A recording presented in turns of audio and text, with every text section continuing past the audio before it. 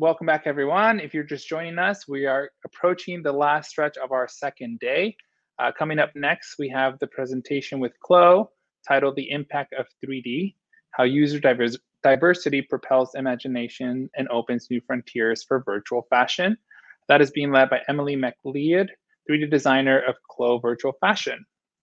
Uh, CLO has a wide range of users from individuals to academics to enterprises, being accessible to different industries has allowed them to gather more insight and develop to include a much wider audience. Emily will share with us how the diversity of their user base drives them and the 3D community forward. Emily, welcome to 3D Tech Fest. Take it hello. away. Thanks so much. Thanks so much for that introduction. So, hello everyone. Yes, I'm Emily. I work at CLO as a 3D designer. I'm coming to you from New York.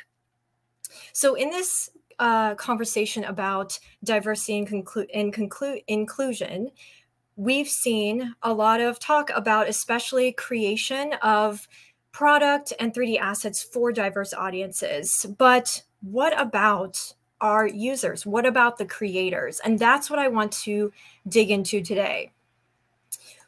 What can we learn from our user base and especially our individual users? And what can they teach us about imagining about the future of CLO and about the future of design. So I want to start from actually where I made first contact with CLO, which was not through apparel. One of my classmates in my undergraduate class decided to teach herself Marvelous Designer and created this verdant organic landscape with organic material that was made from patterns and fabric. And this application of patterning blew my mind. And it wouldn't be uh, the last time that would happen. One of many times my mind would be blown by the possibilities of 3D. It really sparked a fire in me. And I knew from that moment I had to learn CLO. Fast forward to not that long after having that thought, I started my job the first day as a 3D designer over the past three years, um, I've really started to pay close attention to what is out there and just realizing how much I didn't know, which is very exciting because that means I have so much to learn. I have had my imaginative fire stoked again and again by the 3D community. And that spark is what I want to share with you today. So, first, let's flash back to the year 2009 and the origins of CLO because the origins of CLO really rests with our user base and especially our individual users. So our founder, Jaden, was studying his PhD in computer science and created what would become the first iteration of CLO to help people design and create garments more easily. Our original 3D community was born in the cosplay community. Those individual users paved the way for our first enterprise clients. So CLO's destiny was and always will be determined by the 3D community. And from day one, we have learned so much from our users, and it's baked into the way that we operate. One of our core company values is being user focused, truly thinking and learning from the user perspective to create tools that facilitate that creativity. So, in case you're tuning in for the first time and maybe aren't as familiar with Clo, Clo is a 3D software. It's all in one, specializing in true to life garment simulation. In Clo, you can accurately visualize fabric, fit, and silhouette basically as fast as you can imagine them. All of the steps needed to create your designs are designed to be in one place and to pivot to your ideal process. Most importantly, it's designed to unify the language that teams speak to each other, which I'll circle back to a little bit later. So let's start from a zoomed out perspective and look at where our communities live offline. And later we'll get out the microscope and look at specific user characteristics. So this is a map showing total monthly average users in the year 2021, so last year. The more blue or darker the color gets, that means there's more total monthly average users. And this shows us actually that Clo is being used in 108 countries by individuals, universities, and companies. So all of our user types are combined here. That's 55% or a little over half of the world's nations, which is amazing. In first place, uh, with the highest total monthly average users, is South Korea. Uh, second, third, and fourth place go to the United States, to China, and Germany. So, what this shows us is that there's a really large geographical range of people using Clo. But what are specific factors that differentiate them? What can we learn about our users' learning identity and how that determines their success using 3D? So this is where we're getting our users in a little petri dish, and we're going to take a look with our creative microscope. On the Americas team, we work with a pretty diverse range of learners. And so here I'm breaking down some characteristics that differentiate who we work with. So our first characteristic here at the top is level of tech apprehensiveness. Even within one training group, large or small, this could range from someone who is born at the keyboard to someone who doesn't know the difference between a right and a left click. And it's part of my job as a 3D designer to adapt my teaching style and my explanations to meet learner types regardless of where they sit on the spectrum. In the brands we work with, age range could be anywhere from college intern all the way through seasoned professional. In our individual user base, we've seen younger audiences engage with Clo and with our newest software, Jinny. We work with teams with a variety of level of patterning knowledge base. And what we regularly see in our enterprise clients is Clo gets used as a tool, especially to allow understanding between designers and seeing what their tech and pattern maker counterparts do on a normal basis. And as a result, we see a lot of increased empathy and especially more collaborative fittings as a result of that. In individual users, Clo could often be the first patterning experience, meaning that it's not only a place to create something, but also a way to learn an entirely new discipline. Our last and possibly most important differentiator and the most significant indicator to Clo success is avoidance of making mistakes. And that's what I want to dig into a little bit more. When teaching the software, one of the first exercises we do is to show what happens when gravity or simulation is turned on without the patterns being correctly arranged around the avatar. And because we still have momentum in the 3D window, everything comes together and smashes and creates this beautiful explosion that you see here. Due to the unlimited undos, we can easily undo this, although I personally think this is very aesthetically pleasing, not very conducive to accurate fitting. But this mentality of just trying something new to see what happens is what determines the success of a user and how far they'll get in their 3D journey you learn exponentially more from mistakes than you do from successes. And we could argue that those mistakes, if you learn from them, aren't truly mistakes. Many of the most amazing creations I've seen have come from people who have probably made thousands of mistakes to get to that point. And especially if they're starting from the ground zero, learning patterning, that's going to be part of that learning process. Here at Clo, one of our leading values is to learn more by being less wrong. And making mistakes is a really big part of that. It can push us forward and encourage others to try something new they may not have thought about before. Because Clo allows lower access barriers to create a variety of categories and compresses a lot of the design process into one place, we see that our individual users tend to be much more ambitious about trying new things, about creating freely, and about making mistakes along the way. So if we see our individual users as this endless idea generator, the enterprise side is the engineer that brings those ideas into the real world. They obviously have considerations that individuals don't need to worry about, like production logistics and especially process scaling. So already we start to see the internet connectedness of these relationships and how that might relate to the growth and evolution of 3D fashion as a whole. All of these user groups cross pollinate in this relaxed, uh, relational, and collaborative ecosystem. They all work together to drive the industry forward aesthetically and spread diverse perspective and level of proficiency in 3D. We learn from our individual users through Discord, the forum, social media platforms, of course, Twitch streams, and an increasing number of democratized fashion platforms and marketplaces. individuals have consistently pushed the boundaries of what can be done in Clo and in 3D in general, which I will share more on a little bit later. Larger entities like fashion brands try their own version of what they're inspired by. They collaborate with freelancers to create their block libraries and, of course, artists to bring ideas and new categories into the production sphere. Our third major category of users is uh, academics. They comprise about a quarter of our client base here in the US. They obviously are tasked with teaching the new generation of designers who then flow into the individual and enterprise user pools.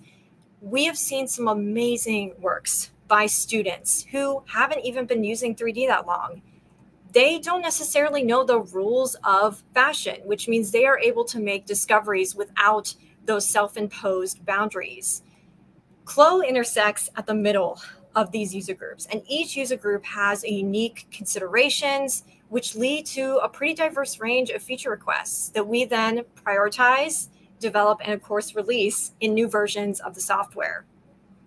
So, this collaborative ecosystem is key to the growth of 3D as a discipline and keeps us at Clo and everyone learning from each other. Stagnation is the killer of innovation. And here we can see these relationships have a lot of potential to spark creativity and invention amongst one another. And this idea of breaking rules, of rewriting them, and questioning them is what makes me so excited about Clo and 3D in general. While Clo was originally intended for use in apparel, we've seen some amazing and unconventional approaches to these categories we never thought to use it for. And calling back to that ecosystem of users I just shared, what is new and able to be done is pushed by individuals, and then we see companies adapt and use that inspiration to onboard entirely new categories into 3D. So I want to share a couple of those stories with you now.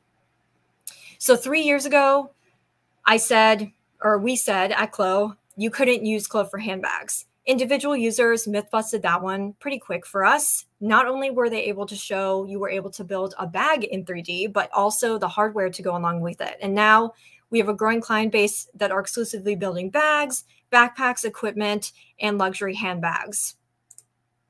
For a long time, we asserted Clo could not be used for footwear. Again, proven wrong by users. Not only did they prove you could build shoes in Clo, but they proved out successful prototypes uh, and workflows to create those rapid prototypes. And in this case, we actually saw a user at a company take the initiative, experiment, and essentially pilot an entirely new category.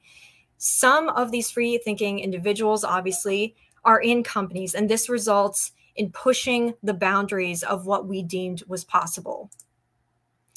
When I started at Clo, home goods was just coming into scope as a viable category. And during my time here, it has absolutely exploded. We have a healthy client base now dealing exclusively with home goods, including bedding, like you see here, home textiles, towels, and built environments to show how it all comes together. There's also more unconventional categories like pool floaties and hard goods like baby carriers that have also come onto the scene. And lastly, toys and toy clothing, really interesting category.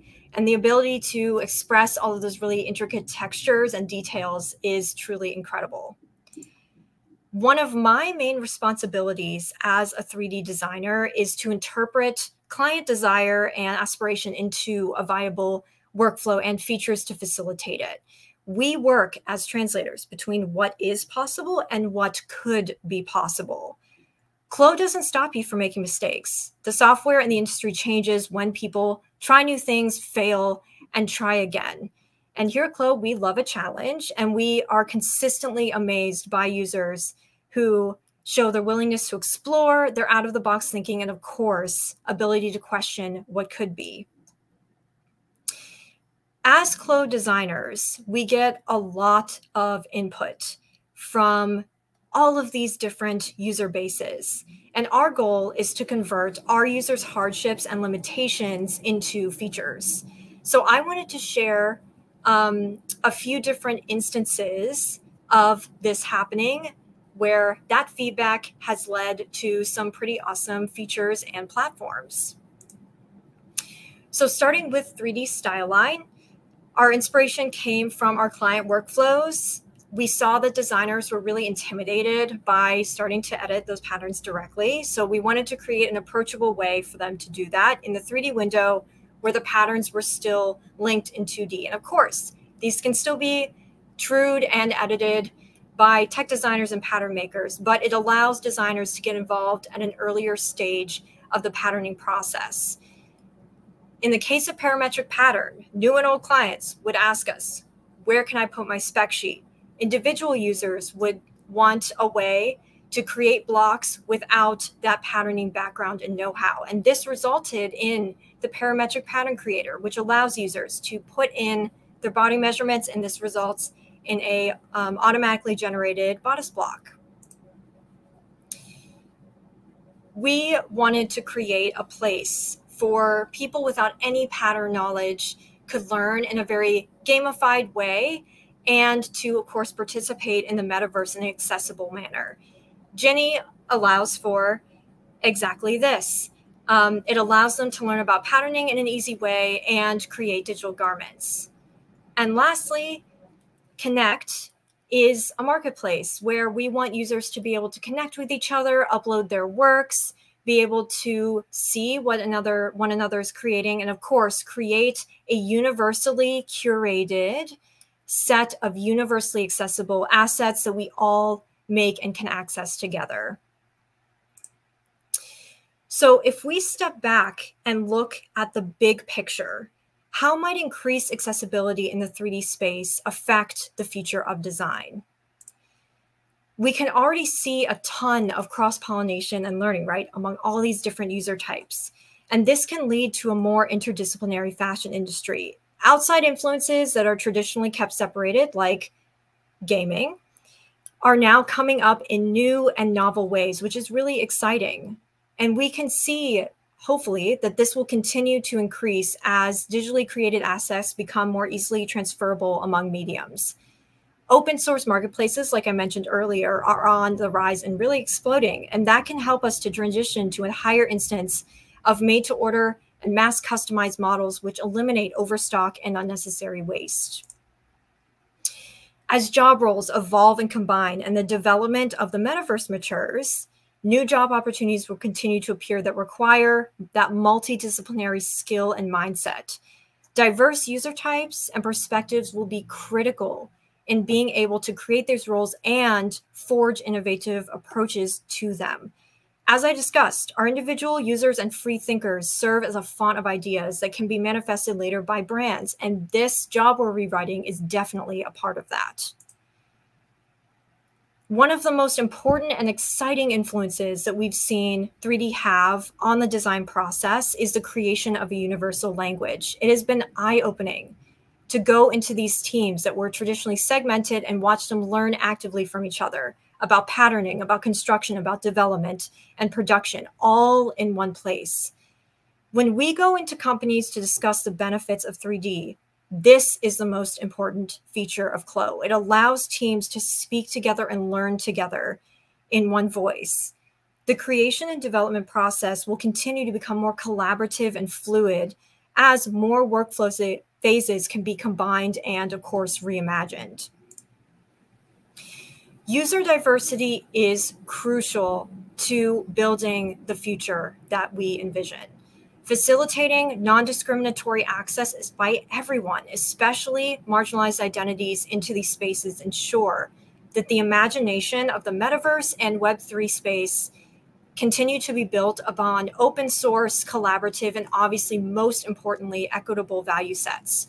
As we continue to deepen our understanding of this technology, we must also be fierce in ensuring our meta worlds we build online don't negatively affect our communities and sustainability here in the real world.